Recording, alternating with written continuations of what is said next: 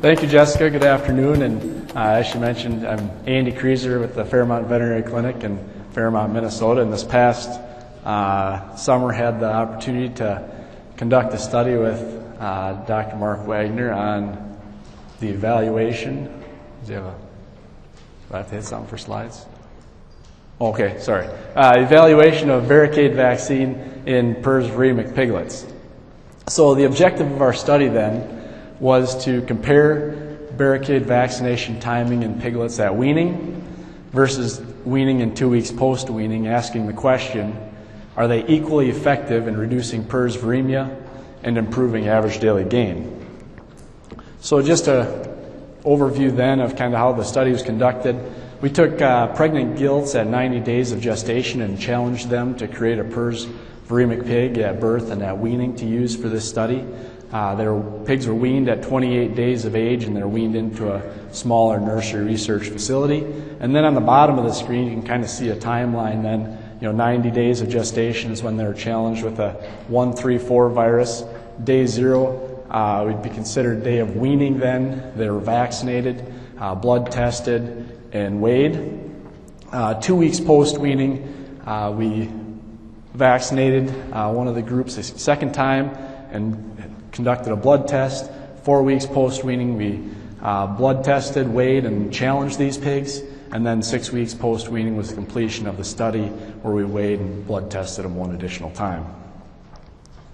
So, then just to give you an idea of the nursery uh, layout where these pigs went to post weaning, uh, there was five pens in the nursery, and you can see we had a control and two treatment groups, and so we were able to space those. So there's an empty pen in between each of our each of our treatments although it was a common airspace. You can see the feeders and waters placed in there. Now, there was no feed medication during the duration of the study, no water medication was administered, and uh, no mass vaccination, or uh, excuse me, mass treatments uh, to the piglets. So, then as far as uh, allocating pigs to our treatment groups, we blocked them by PCR status, or PCR positive first, and then by weight at weaning time. And so we had uh, 14 pigs in a control group. We had 14 that received uh, a vaccination at weaning of two mils of the 173 barricade vaccine intranasally, and then a second group that was vaccinated there as well. And now, this 173 uh, vaccine strain that was used is 86% similar to the 134 virus that the sows were challenged with, or the gilts, excuse me, were challenged with at 90 days gestation, and uh, we found that same virus then in these pigs at weaning when we blood tested them. At two weeks post weaning, then, one of our vaccinated treatment groups, we boosted with a second 2 mil intranasal dose. And at four weeks post weaning, we challenged them with a 174 virus, and this is to try and mimic uh, a lateral introduction into a nursery, uh, you know, during the growing period. And this uh, was 97% similar to the, to the vaccine, the 173 there.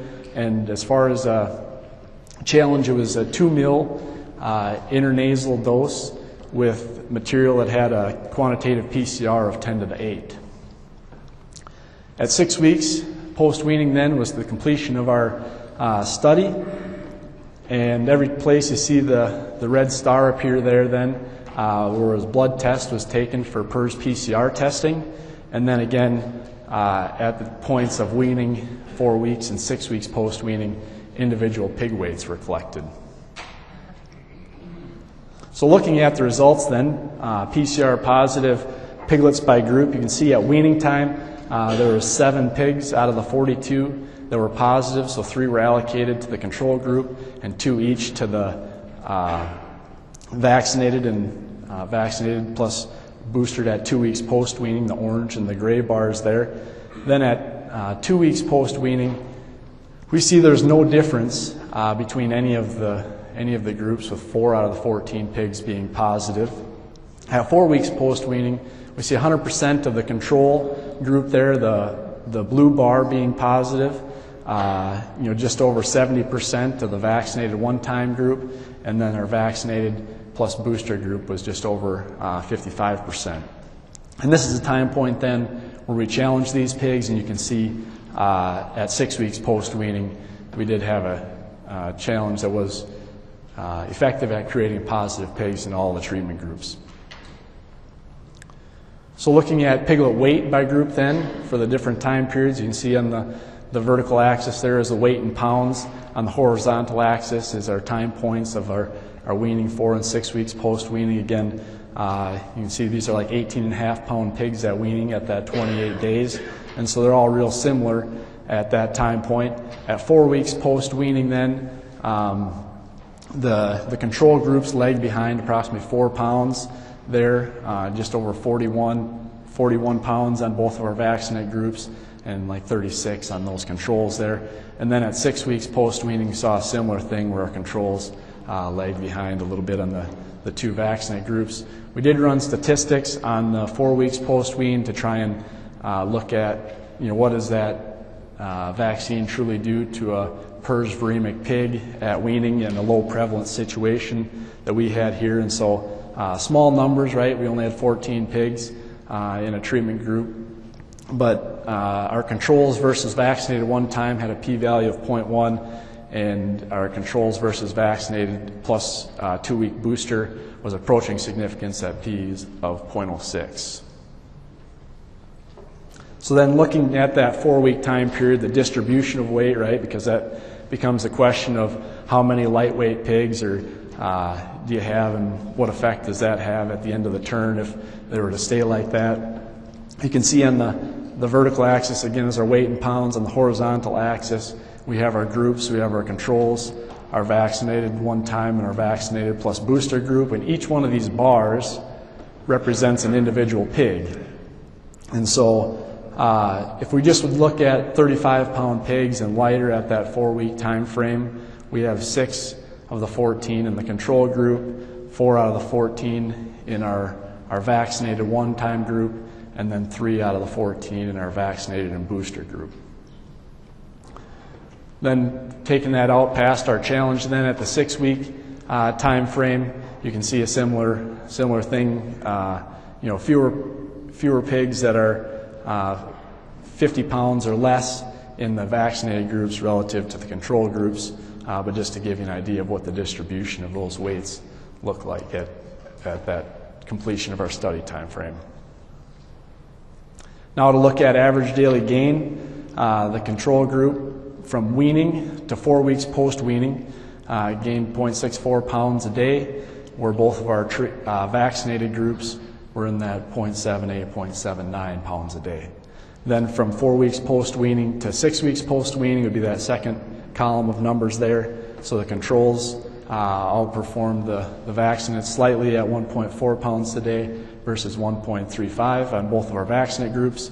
And then the farthest right column there is the from weaning to six weeks post weaning overall average daily gain, uh, where the, the controls did like nine tenths of a pound a day versus the vaccinate groups. You know, no difference really there at just shy of a pound a day.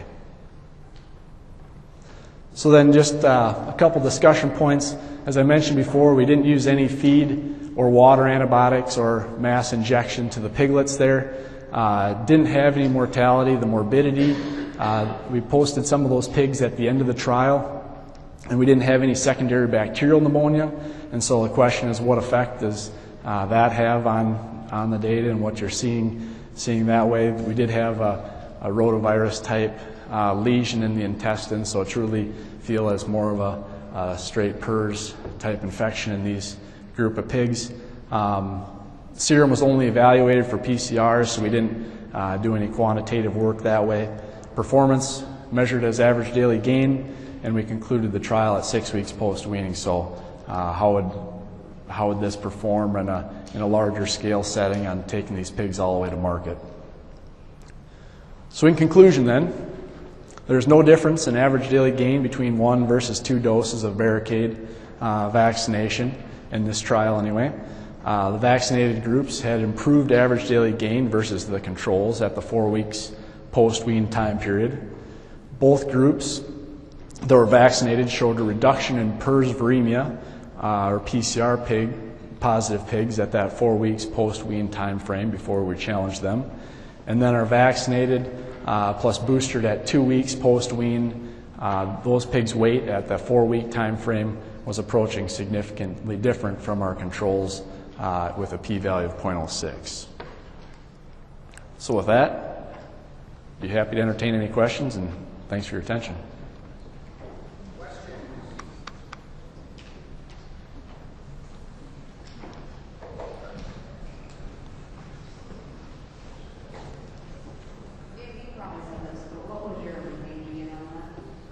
Uh, so the question was, what was the wean age of the piglets?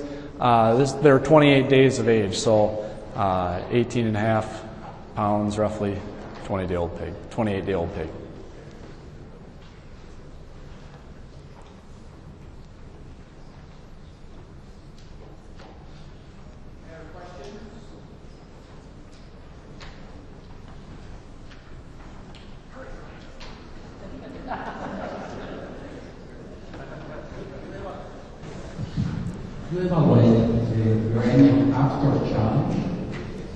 Uh, so the question is, uh, after challenge. Uh, yeah, so that six weeks post wean here would be, um, you know, this would be the the, the challenge is here at four weeks, and then so six weeks post wean or two weeks after that challenge would be the PRRS PCR status of those pigs for each of the treatment groups. Oh, the question. Oh, so, so a quantitative PCR? No, we just did a, uh, a PCR. We didn't do any quantitative on this. Yeah.